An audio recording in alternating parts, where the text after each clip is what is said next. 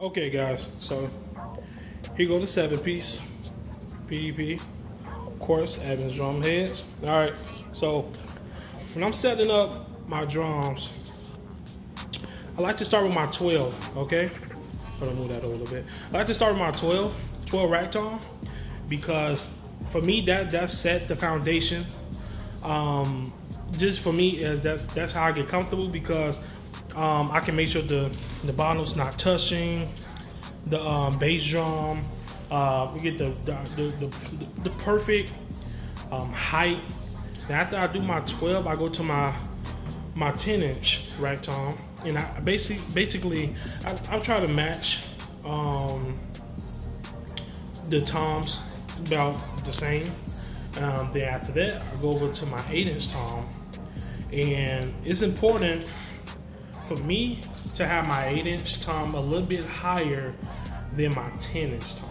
I'm gonna tell you why because it just it just it just don't feel right. It don't sit right with me. Well, well, really, while while I'm playing, it's just uh, uh, uh, it's just more comfortable when I have the eight inch a little bit higher.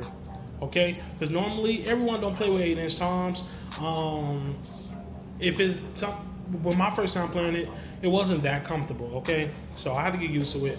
I love it now. Um, so after I'm done with the rack toms, I go and I put up my floor toms. So this is the 14 inch. Of course, everyone knows 12, 14, or 12, 16, or however y'all you guys are playing it. Um, this for like me having seven piece or five piece. Okay, so um, you know it goes about right there. Make sure the, the, the, the height that you want it to be. Then anytime you have a secondary floor tom, always push it out a little bit further than you would have the first one. Only because you pull this in, all right, and you come in like this, your arm is gonna be all in. You know what I'm saying? It's gonna, it's gonna be uncomfortable. All right, so I try to keep it about right there.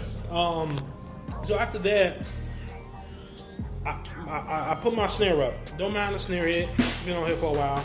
Um, so I put the snare on last. I'm gonna tell you why. Because if I put the snare on before I put these two on, I'm to move this anyway because I because I don't know how far or where exactly I need to be putting the snare. Okay, so for me, I always put these two on first, or if I'm just doing a five piece, put the, I put these on first. Okay, make sure your your rack toms are not touching each other. These are a little bit. Uh, see, yeah, okay. All right, okay, better.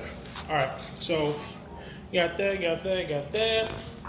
Um, make sure none of your drums are touching each other.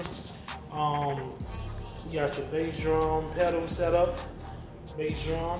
Um, another thing, um, when you setting up your drums, um, you should probably want to start with your drum throne and never put your drum throne directly in front of the bass drum.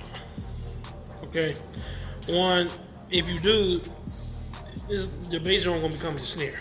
All right, you don't want that. So your right foot right here, snare always in the middle between your left and your right, right legs.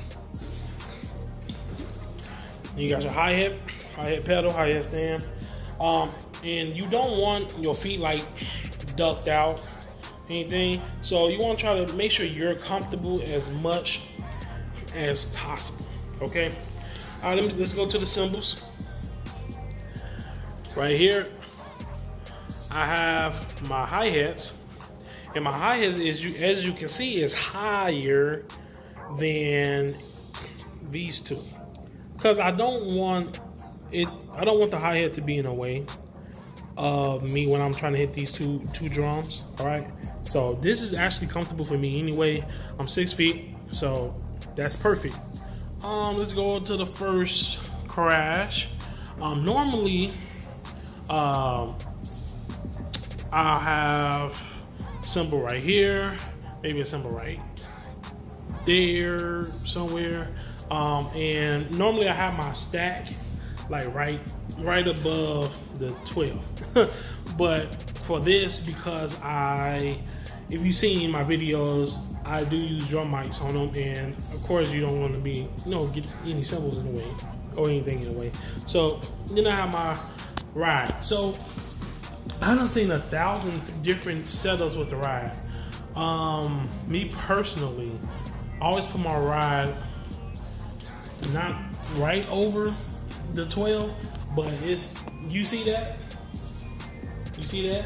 When you do it MDW style, your your your drum head need to have have that, you know what I'm saying, have that shape right there. Um, for me, only because when I'm going for the ride, I like to be up here. I done seen people put the ride right here, all the way down. I can't I can't get with that. All right. So um, you got the ride right here. I got the other crash right here.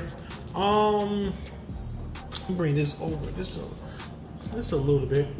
Um, yeah. So as long as this cymbal is not hitting this uh, this ride or anything else, it's fine. So I, I like to put it a little bit over the ride, which is okay. Um, actually, I might lower the rack just a tad bit. Um, then I have the stack. Well, with this stack, let me let me see. About right there. You know, I don't hit it every time.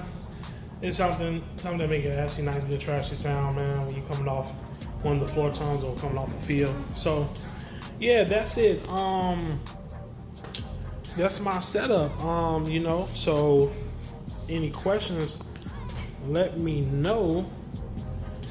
Any questions, let me know, guys. Again, this your boy Trail. See you next video. Peace.